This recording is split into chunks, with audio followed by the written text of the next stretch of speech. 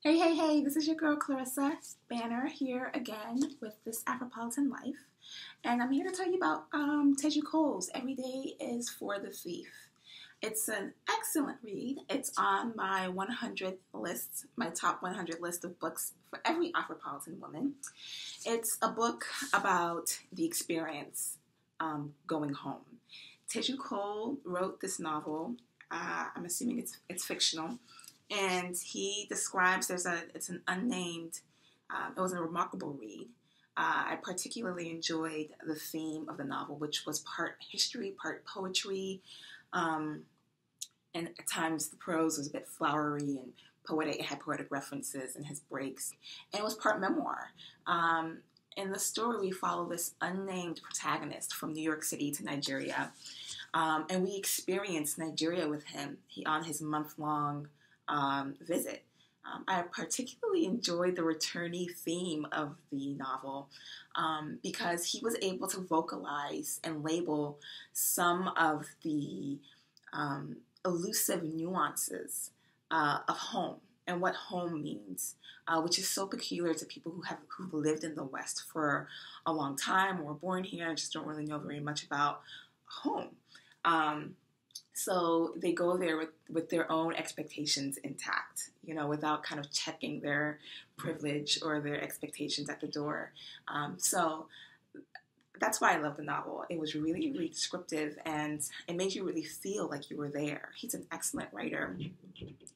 Um, I saw how he, like most of us, uh, unassumingly compared uh, Nigeria to some of the West, and that's one of the things I I noticed. Like that's one of the critiques I have. I don't know if it was intentional in how he wrote it, but he did seem to compare um, Nigeria and the things that he saw to what he knew to be, I guess, the standard from the West.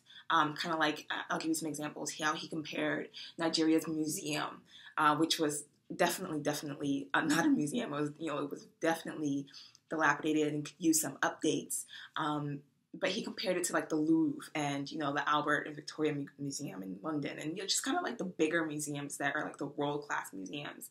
And then he also kind of compared, he kind of um, compared and contrasted um, the MUSON Music Center uh, with his decadent presentation um, to other music houses around the world so he did give us like he he used Western standards to describe the Nigerian experience, and that was a critique, but it was still kind of cool because it helped me as a reader see where he was coming from and what he was comparing these things to, and what he was expecting from Nigeria. He also kept bringing up there were two themes that I noticed. He kept bringing up the the importance of presentation. Like he wanted really good presentation. Like some some of the things that he saw, he kind of accept, expected, like you know the marketplace and all this stuff. He expected things to be the way they were in Nigeria, but he also expected some sort of like elevated presentation. Like when he went to that jazz shop, and he you know was like he saw it was a stuffy you know jazz shop, and he thought that he can go buy some jazz records there, and apparently it was like a piracy shop where they would like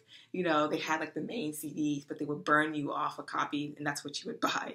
Anyway, so mm. um, and then he went, he compared it with this other jazz shop, like really cool. Um, New Africa, Africa Rising, I guess, kind of boutique where they had jazz and they had um, they had um, books, like as like a bookshop slash jazz shop slash you know kind of relax and drink some coffee type shop. And he was like this is the kind of presentation he was talking about. Like this is the kind of presentation that was yeah like it was um it was a um, oasis and you know the desert that was kind of like Nigeria um, as far as these things were concerned as far as like music and arts and creativity was concerned. He didn't see how people could create in a Nigeria that was so hard to be in, like with no lights, no water. Your your every day wasn't linear. Like you couldn't expect things to be the same on any given day. So he was like, you know, he didn't know how people created. He couldn't write there. Like he couldn't enjoy his jazz there. He couldn't really do the things that he'd like to do in New York City there. And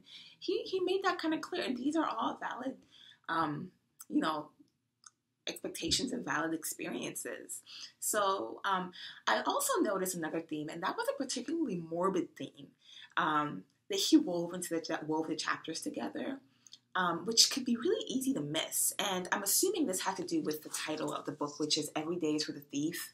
And he said that um, in the beginning, before you delve into the book, he said this, the title was based off of a Nigerian proverb that says, "Every day is for the thief, but there's but every uh, it says every day is for the thief, but one day is for the owner." And it's a Yoruba a Yoruba proverb. Proverb, and I'm assuming that has to do with like the way Nigeria is, where there's every day is a hustle, but uh, one day you'll win, kind of like like that. And so one of the I think the morbid theme that he presented in the book that was really really like subtle was in reference to that.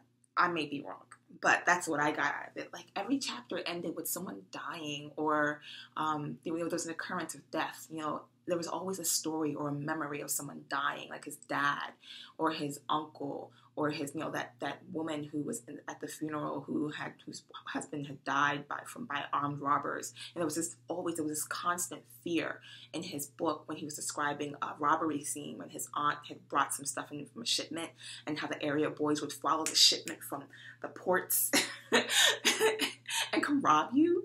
Um, so. He, I'm assuming that he was really, and he really did a really good job of describing the terror of like of everyday life, of just like uns- the unsettledness, not terror, but the unsettled, the unsettledness of living a hustle life in in the streets of Lagos and Abuja and all these places, um, and there was even like a, a, a, even his mom who wasn't dead but was dead to him because he didn't really have a relationship with her that was also kind of like a death too. So i mean that's one of the themes i noticed i might be wrong. Um, another thing about this book yo was the history. You know I'm, I'm a i'm an avid history i'm an avid story collector. I love history. I love african history. And this book does a really good job of pointing out some historical facts that some little known historical facts. And um, I was particularly interested in his account of um, slavery in in Nigeria and the Delta area. He talked about how um, some uh, intertribal wars would be, you know, manufactured just so they would have people to sell off to the, you know, to the to the slavers along the coast, and um, you know, at 35, I think shillings or pounds per adult male, they would you know they would they would find reasons to fight and sell people. And he talked about how no one really knows about how the Delta um, was a huge, was probably the busiest slaving port in the West at that time, in West Africa at that time, because of um, the fact that the Delta is, is there's this, it's a unique port. It, it, has calm waters with all the tributaries of the rivers that's flowing in. So the um, slavers didn't have to, they didn't have to, there were no old relics, you know, like Elmina Castle or Gorée Island in Senegal or Elmina Castle in Ghana. There were no castles, there were no forts to hold slaves because they could just berth their slavers right there in, in the port in the delta and just kind of pack them in and wait there until their slavers were full and then roll out. So there were no, it's forgotten history. Like I, I thought that was cool. Um, that was interesting to learn about um, just that piece of history that's kind of forgotten and no one really talks about it. And he did talk about how people in Nigeria don't really interact with their history, interact with history. Um, you know, he talked about how dilapidated the museum was. The bookshops don't really have historical um, books in them. They don't stock history books outside of, um, you know, you know, uh, Wole Soyinka's books and maybe a few others, but they don't stock um, like a, a, robust history section. Like you would go to a Barnes and Nobles here, you would go to a bookshop here, and that's another thing he compared. Like, you know, he, you would come here and you could kind of you, you can you can thrive in the arts and literature and poetry and and music, but they didn't have that there. And for someone who's a creative, that that could be detrimental. You know, you don't get, you're not nurtured in that way.